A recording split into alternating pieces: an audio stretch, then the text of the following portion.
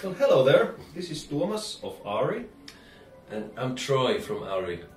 I'm Johanna from Auri, and you're listening or watching the La Grosse Radio.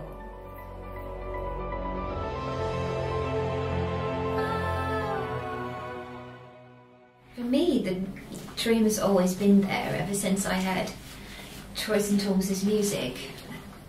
I've felt this great urge to do something on the plane of music together. Like it's been a well dream ever since I can remember, and um, yeah, well, it's taken a bit of time, hasn't it? But then again, time doesn't really come into the picture. It's, it Well, the first song called Aphrodite Rising was already written by Troy back in 2011, so it's been marinating Mhm. six, seven years already.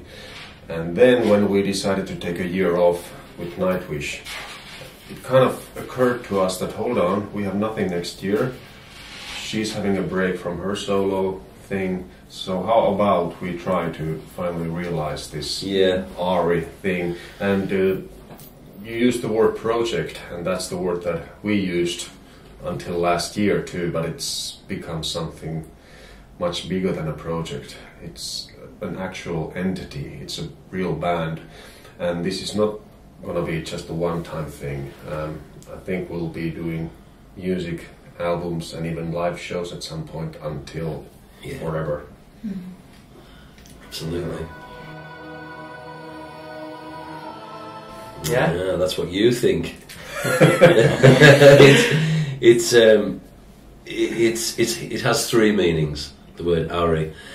Of course, the Patrick Rothfuss um, books. Um, Tuomas and Johanna are big fans of those books, uh, but I'd never read them. It was news to me, so I had no idea. But uh, I thought it was a because Tuomas and Johanna came up with the, the name, and uh, I thought it was beautiful because my reading of the name is from the word uh, aura, which is um, from I think it's Greek, I think it's a Greek Latin Middle English word meaning emanation and golden atmosphere that comes off something, which I I think and still think uh, absolutely uh, it, it it epitomises what we do. That word, auri, aura, whatever. And it also means it's a name as well in Finland. And Johanna's part of Johanna's name is is Auri as well. So uh, when you put all of those three things together, it it does actually um, it, it embraces all three of us, not only as people but musically as well. The name of the wind What's the wind? and Wise Man's Fear also. Yeah. Yeah, it's kind of influential guy. he is, yeah. But yeah, he, we just adore his way of writing and his way of storytelling. And like anything that inspires you, anything that goes into you, has to come out one form or another. And that's the case here as well. Not really. it's important to, to um, uh, it's important that we, we, we say that it, it's it's not conceptual. The Yeah. Album. There are obvi- there are obvious influences from Patrick Rothfuss on, on three songs of the eleven, but there are eleven songs, and um, the Rothfuss influence is in there. But it's it's kind of natural that that would be in there. We're, we're, All of our influences come out in the music, no, no matter where they come from, but they're not so explicit, which is why we've we're, we're generally loath to go into detail about stuff because we don't want to uh, discolour people's you know reaction to the music. We want them to um, have a nice clean slate, as it were. Yeah, we well, our fifth album is about to be released in 2073. Um, so watch out for that. It's, it's we're really pleased with it. uh, excuse me, I've got a cold. It's It's affecting my it's affecting my mind. I believe Ari will have a long future ahead of it. I mean, for me personally, it was a bit more like a project, still like three, four years ago. But now, when we actually got together and did the album, it was a revelation to me as well that this is something much, much bigger and much more important. than just a project. Uh, this band has no leader. It has no front woman, front lady. It has no producer. It really is an entity. Three minds, all one mind, and manifesting itself as the music that we do. And it's really become an important part of all of our lives. Yeah. So I don't see any reason why we wouldn't be doing No. album number five in 2017. definitely, Yeah. definitely. Yeah, it's, it's really hard to put music into words, isn't it? And um, well, Yeah, it is.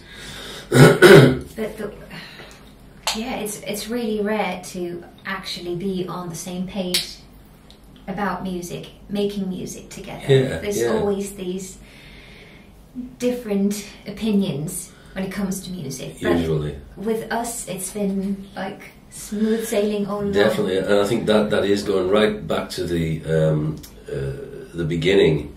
It, it is that affinity between us that uh, that caused this to happen.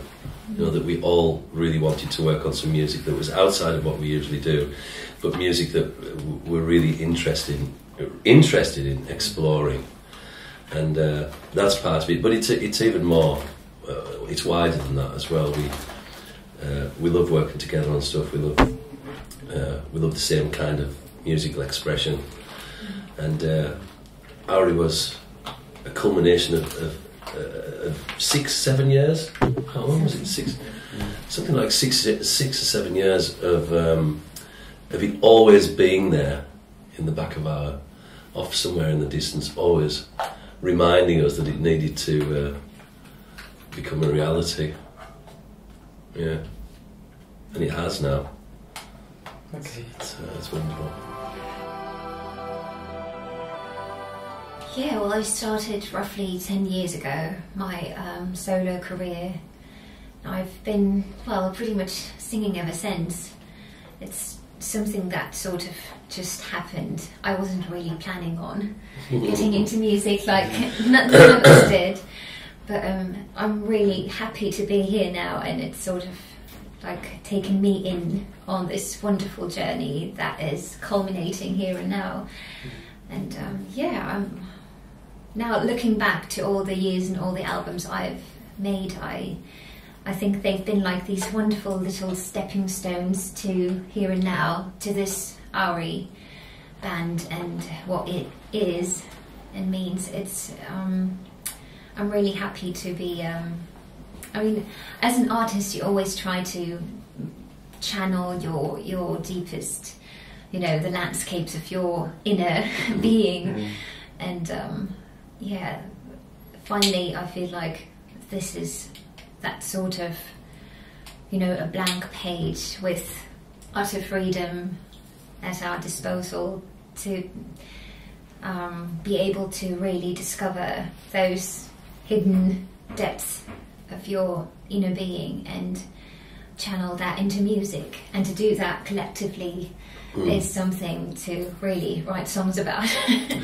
Yeah, Johanna has, has a tendency to hit every nail on the head. that, that is it, really. Both of us were huge fan of fans of her voice Yeah, we were. long before we ever met her. Yeah. So it was a, an absolute Yeah. dream on our part as well to to begin this wonderful journey that we've we've been on, and that is uh, an endless road for us as well. You know, we we we've got nothing to um, nothing to fright to scare us off the road, the path that we've we've chosen to go with Auri.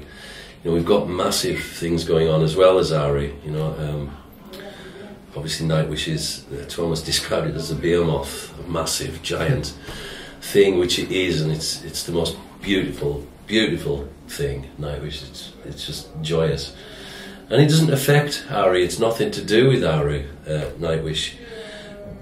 You can run two two different things at the same time. There's, there's no problem with that. So we see Auri as as this kind of luxury yacht that's off on the sea. There's, there's a giant tanker called Nightwish over there. and we're kind of going, oh, you know, fl- flying around. And uh, but sure enough, the tanker's going to go right. You two get back on here for a while, and we'll go. Yeah, all right, yeah, great. You're really good with metaphors. Keep them coming. What an That's brilliant. Yeah. That's exactly it.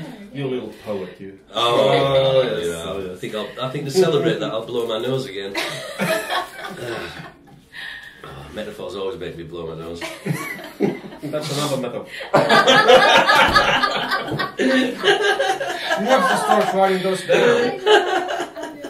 Metaphor man. Troy Donockley. Rent a metaphor. Rent. yeah, so, but- sorry, I sorry. reprint No.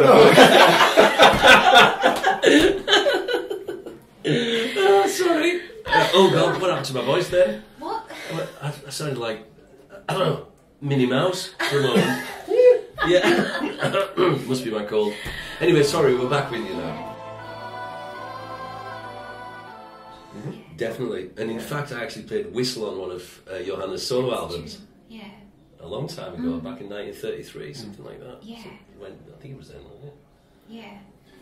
And I did a bit of poetry reciting for Troy's solo album. did, I yeah. wrote a song for Johanna's mm. solo album years ago, so it's Yeah. been there Yeah. since forever. Yeah, for a long, long time. This is just the culmination point. That's Yeah. How do you call it? That's it, culmination. Yeah. Oh yeah, we do intend to we do intend to do it live. It's it's absolutely inevitable, and it's, it's vital that we do it live because we're so excited about uh, realizing this this particular dream that we've got. I just Um, saw a vision. There's going to be a world tour in the spring of 2022. Yeah, I saw it. I saw it right just then. saw it. Yeah. Yeah. About right around Yeah, then. incredibly, it just appeared. Yeah. Yeah. Wow. Yeah, about 2022. Yeah. We're going to go out. 60 shows It around, was something around like Europe. Yeah, yeah, yeah, yeah.